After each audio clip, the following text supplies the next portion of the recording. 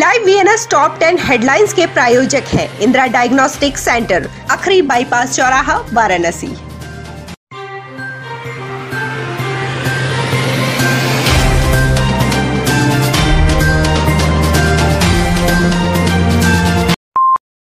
वाराणसी में बुधवार को मिली 5,402 कोरोना जाँच रिपोर्ट में एक कोरोना पॉजिटिव मरीज़ मिला है। बीते 24 घंटे में किसी कोरोना मरीज़ की मौत नहीं हुई है।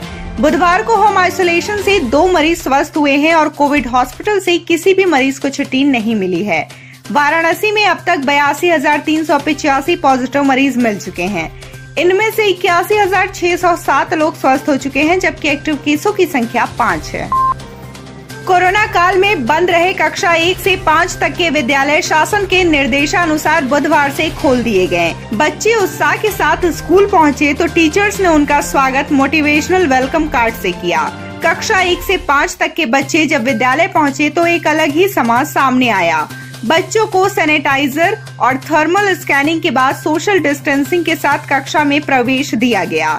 शासन के निर्देश पर बुधवार से कक्षा एक से लेकर पाँच तक के बच्चों के लिए स्कूल खुल गया।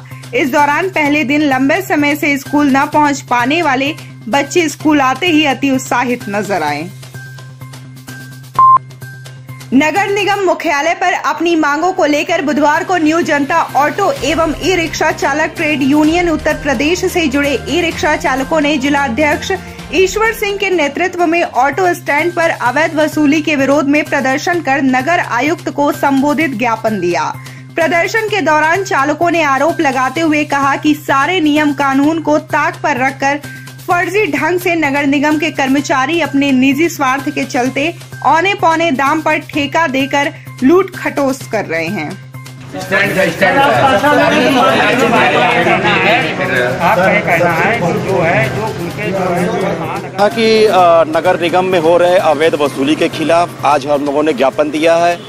और मेन मुद्दे से ही है कि सर, नगर स्टैंड कहीं नहीं है, ऑटो स्टैंड और e rickshaw e rickshaw stand कहीं नहीं है और अवैध वसूली गुंडे के बल पे और नगर के निगम के कर्मचारियों के बल पे उतारा जा रहा है। जो महानगर ऑटो स्टैंड का ठेका नगर निगम द्वारा उठाया गया है, पच्चीस लाख रुपये में, वार्षिक। उनका ये कहना था कि जो ऑटो स्टैंड वाले हमको जगह जगह खड़ा कर देते हैं, इसके साथ हमको जो है ट्रैफ़िक पुलिस से परेशानी का सामना करना पड़ता है। तो उसको हमने कहा था, उसके लिए हमारे जो टेंडर की जो प्रक्रिया है, जो टेंडर की गाइडलाइन दिशा निर्देश हैं उसी को हम लोग अनुपालन करा रहे हैं। जैतपुरा थाना अंतर्गत आज़ाद पार्क पीली कोठी के पास स्थित साड़ी रंगाई के कारखाने में रखे गैस सिलेंडर में आग लगने से हड़कंप मच गया। आग की सूचना मिलते ही मौके पर पुलिस और कुछ ही देर में फायर सर्विस के लोग पहुँच गए, पर उसके पहले ही स्थानीय लोगों ने आग पर काबू पा लिया था। इस संबंध में कारखाने के मालिक मुआजम अहमद ने बताया कि उनकी साड़ी रंगाई का कारखाना है और लूम भी चलता है। आज साड़ी की रंगाई हो रही थी कि अचानक गैस सिलेंडर ने आग पकड़ ली। साड़ी बुनाई का भी काम है तो अपने हाथों से ही सब करते हैं। तो उसी में रंगाई करने में वो सिलेंडर में थोड़ा सा आग लग गई थी। तो खैर, किसी प्रकार का तो नुकसान तो हुआ नहीं। चंदौली में शिक्षा विभाग के अधिकारियों, कर्मचारियों ने पार्षदीय स्कूलों की किताबें बच्चों को उपलब्ध कराने की बजाय कबाड़ी को बेच दी। बुधवार को एसडीएम प्रदीप कुमार ने मुख्यालय से सटे बिछिया गाँव में कबाड़ी दुकानदार को किताबों के साथ रंगे हाथ पकड़ा। इसकी जानकारी होते ही शिक्षा विभाग में खलबली मच गई। आनंद फानन में बीएससी सत्येंद्र कुमार सिंह व अन्य अधिकारी मौके पर पहुँचे। अधिकारियों ने पुस्तकों का बंडल जब्त कर लिया। वहीं मामले की जाँच के लिए समिति गठित कर दी गई। बीएसए ने रिपोर्ट के आधार पर जिम्मेदार लोगों के खिलाफ कार्रवाई की बात कही है। यूपी विधानसभा चुनाव 2022 के लिए अभी से तैयारियों में लगे समाजवादी लोहिया वाहिनी के कार्यकर्ताओं ने बुधवार को महानगर कार्यालय पर समीक्षा बैठक का आयोजन किया। समाजवादी लोहिया वाहिनी के प्रदेश उपाध्यक्ष प्रमोद यादव की अध्यक्षता में हुई बैठक में संगठन विस्तार और चुनाव को लेकर किस प्रकार से कार्य संचालन हो रहे हैं इसकी समीक्षा की गई। समीक्षा बैठक में सपा कार्यकर्ताओं ने अपने कद्दावर नेता केपी यादव को श्रद्धांजलि भी अर्पित की। समाजवादी पार्टी के यूथ फ्रंटल के रूप में कार्य है हमारा और ये पूरे प्रदेश में विभिन्न जिलों में, विधानसभाओं में ब्लॉक के स्तर तक ये समीक्षा संगठन बैठक चल रही है। जैसे समीक्षा बैठक में हम अपने संगठन विस्तार और संगठन में किस तरह से भागीदारी हमारे अध्यक्ष जी के द्वारा किस तरह से कार्य संचालित हो रहे हैं, उनकी समीक्षा हो रही है। भारतीय प्रौद्योगिकी संस्थान काशी हिंदू विश्वविद्यालय में बुधवार को हिंदी पखवाड़ा का आरंभ हुआ। संस्थान के एनी बेसेंट व्याख्यान कक्ष संकुल में उद्घाटन समारोह का आयोजन किया गया। इस अवसर पर संस्थान के निदेशक और राजभाषा समिति के अध्यक्ष प्रोफेसर प्रमोद कुमार जैन ने कहा कि नई शिक्षा नीति में शिक्षा का माध्यम मातृभाषा में देना है, जिसके लिए आईआईटी बीएचयू हिंदी माध्यम से प्रथम वर्ष की पढ़ाई शुरू करने की तैयारी कर रहा है।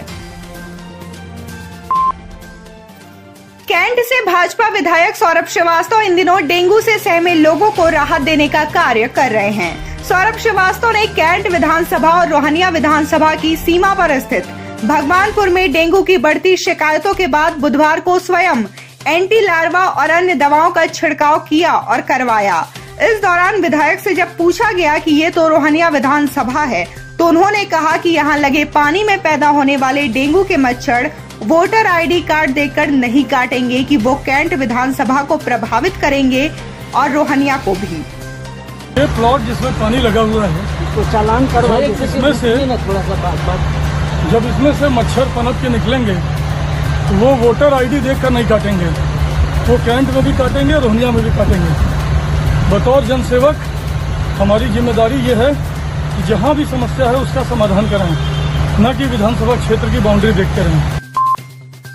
महानगर कमिश्नरेट पुलिस लगातार अपराधियों पर गैंगस्टर का शिकंजा कस रही है, पर अपराधी अपने कार्य को अंजाम देने से नहीं घबरा रहे ताज़ा मामला कैंट थाना क्षेत्र के वरुणा पुल पेट्रोल पंप का है, जहाँ बुधवार की दोपहर एक व्यक्ति के साथ दो टप्पेबाजों ने खुद को पुलिसकर्मी बताकर दो लाख की अंगूठी की टप्पेबाजी कर ली।